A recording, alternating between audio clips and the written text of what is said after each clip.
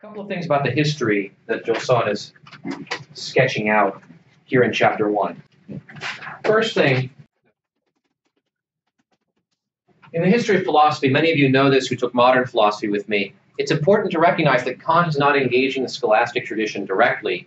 Kant is engaging the Cartesian tradition that has replaced the scholastic tradition by his time. So we have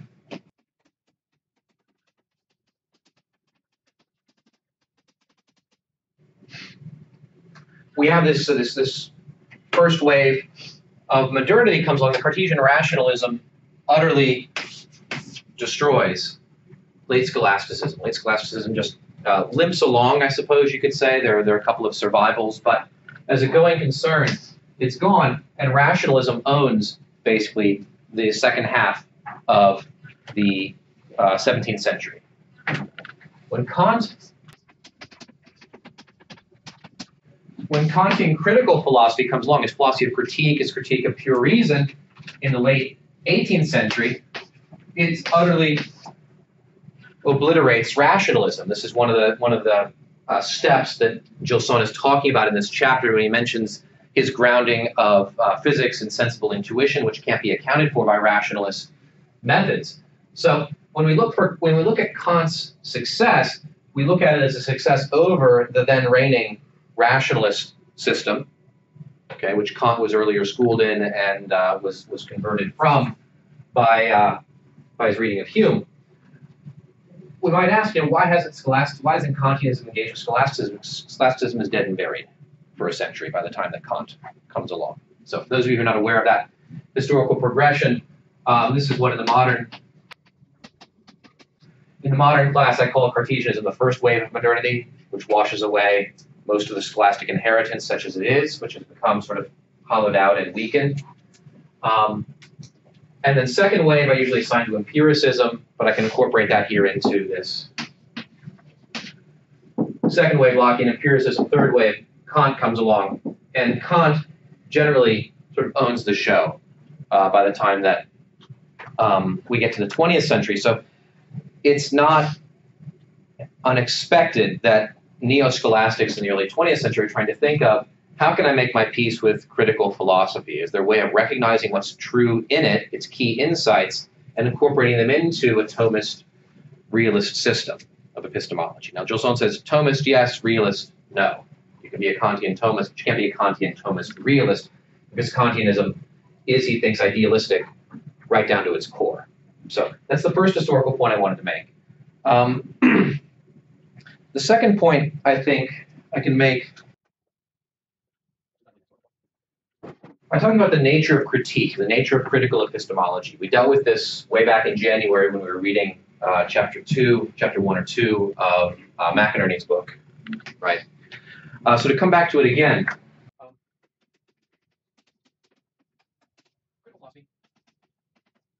anytime we're dealing with critical philosophy or um, the philosophy of critique, we're thinking about Kant historically. Um, this would not be the case uh, by something called critical theory, which is a late 20th century phenomenon. So you see the words critical theory together, that's something other than this. But critical philosophy or the philosophy of critique is the philosophy of Kant. And this is part of a general modern part of a general modern turn to the subject, of which Descartes also takes part. You notice Descartes begins with the mind and its method and its limits, rather than the object and its intelligibility. Right? He notes that this is uh, this has been neglected by prior epistemologies.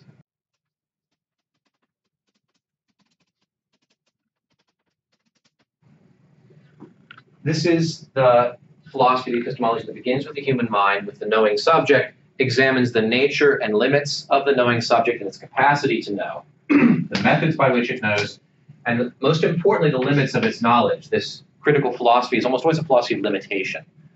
The critique that it makes then of prior, say, scholastic philosophy or just the whole Aristotelian Platonic tradition is that that philosophy was insufficiently critical. Prior philosophy was uncritical. It ignored the limits of the human mind and claimed to have knowledge of supersensible realities. That's one of uh, one of Kant's terms that comes up again.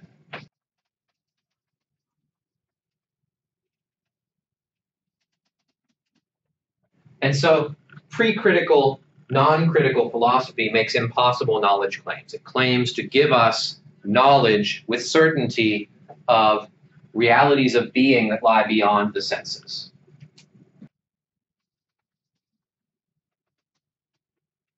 The limit of the mind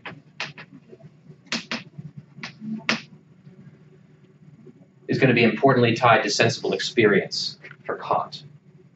Okay, this is none, none of this is new to you guys. A lot of this is review, I trust, but I'm putting it down in this way for the sake of discussing it in Gilson. So we begin with the mind. We then work from the mind to what we can know. We have to be satisfied with a more limited scope for human knowledge, but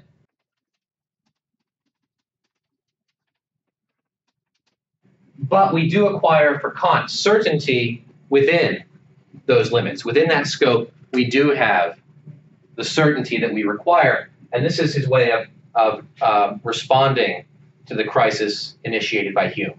Hume points out that our reasoning about matters of fact, about empirical matters, including science, the big, that's the big prize everybody's playing for.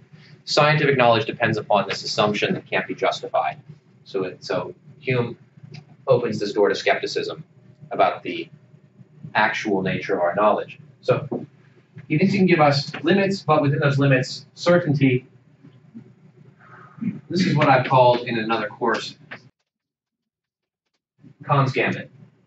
What we give up is the ability ever to make true statements about being, considered just in itself, being in itself, things in itself, the noumenal, the queen sacrifice is knowledge of being. We, we cannot know being in itself, what he calls the noumenal. We just can't know that. All knowledge claims about noumenal realities are illusory. And they always have been. Nobody ever, not Aristotle, not Plato, not Descartes, not Spinoza, nobody has ever had that kind of knowledge. It has always been an illusion. Kant says is with critical philosophy, we've now woken up to that fact, and we're able to reform philosophy, pull back its frontiers quite significantly to within the limits of the powers of the human mind, limits dictated by experience, sensory experience. But within those limits, we can have absolute certainty because of the way that the mind is structured. This is Kant's new metaphysics as a, a science, as, as, a, as a discipline, body of study. So we gain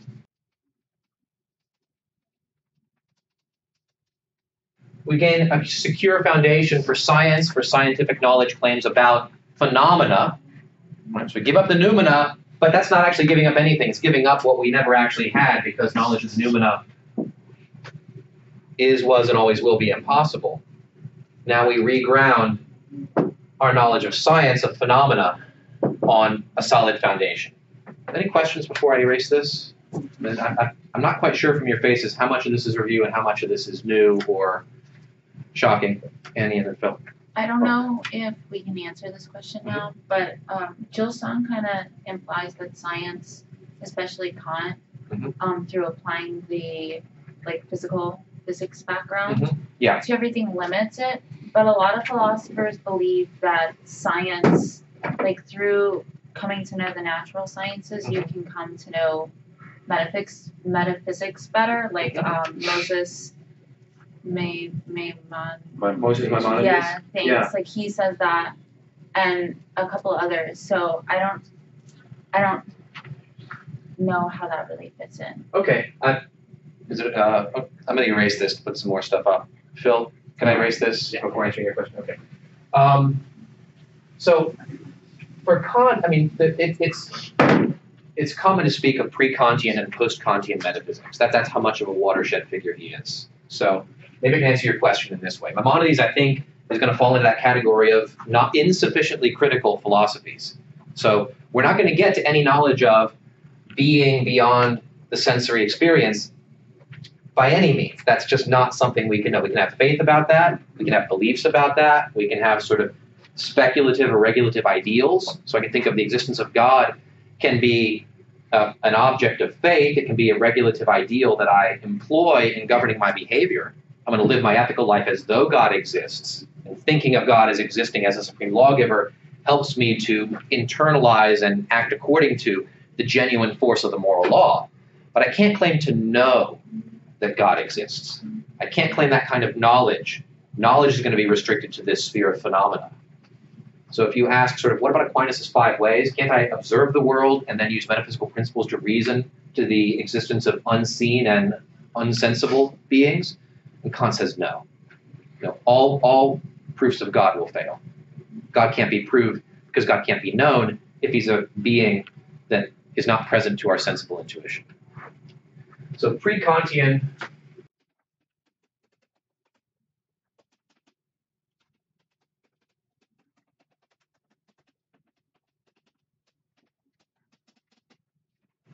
Before Kant, we have what I call speculative metaphysics, which is an attempt to grasp, to know, to know the truths about being, being considered beyond us. This kind of speculation goes beyond, reaches out into the world.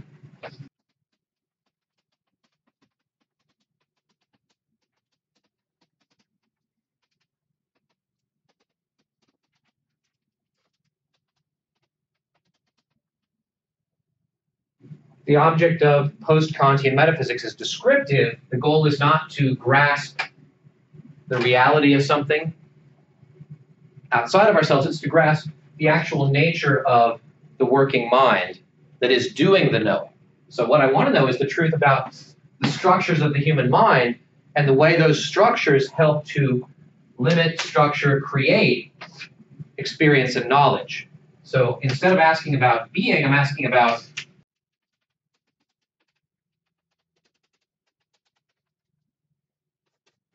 conditions for the possibility of having any knowledge.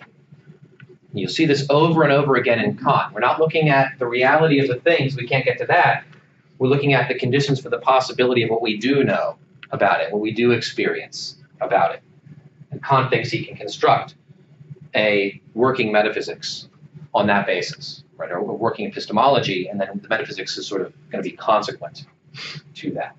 Okay. So it all sort of holds together with this general with this general method. Does that answer your question? I sort of said yeah. the answer was no. Maimonides is not going to be able to arrive at any knowledge of God. Yeah. If, if, if the conclusion of your argument is, therefore, I have knowledge of a supersensible reality, your argument is invalid because your conclusion is false. Right? There can be no good argument that concludes that you have knowledge of something that's beyond the senses. All knowledge is either sensory knowledge, which can be physics, or it's going to be this kind of descriptive metaphysical knowledge of the conditions for the possibility of physics. So metaphysics' job is to talk about how physics is possible. That's what philosophy is now. Okay, it's going to be uh, sort of the, the uh, ancillary to science instead of to theology. Phil? Took a long time getting you. No, no, yeah, okay. That wasn't a question. Okay, that's fine. Is that was it a joke? No. Okay. Give me, give me a thumbs up. Thumbs up. Okay, great. Um, so I need to wrap up the Kant lecture soon if we're going to talk about Sonne. Um, so the thing that it seems to me, the, the, the, second point I wanted to make on the way to the way to making uh, that I've been on the way towards, is that it seems to me that the divide between sort of pre and post Kantian approaches to philosophy, we can also think of as a divide between living in a world of beings